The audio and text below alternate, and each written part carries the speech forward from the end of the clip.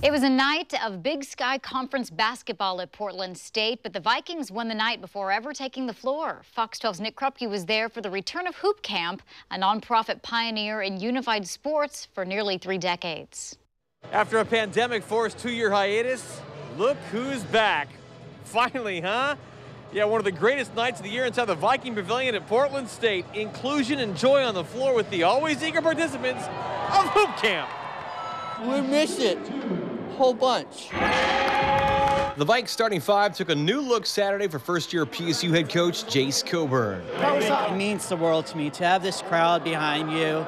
This really like means the world to me a lot.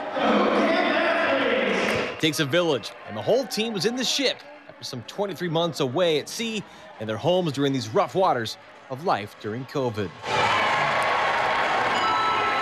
to know that you know you're part of community, to be part of a good community. That's been missing for so long here now. Yes, it has. Yeah, yeah. I mean, yeah, the pandemic's been it's been hard on all of us, and uh, yeah, it's been just been great to see everything back semi-normal. So nice. The Oregon-based Hoop Camp Foundation has been built on volunteers since 1994 while assisting with life-changing experiences for people living with intellectual disabilities. And this was a full court press. This night means a lot because um, I get to hang out with my friends and spend time with and watch the Portland State Vikings.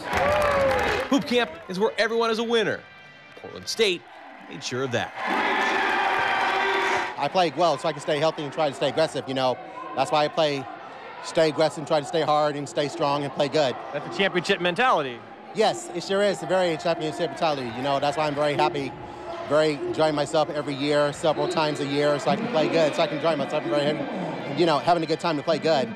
Go, Buckeyes! A high five to the Vikes who won the night well before tip-off.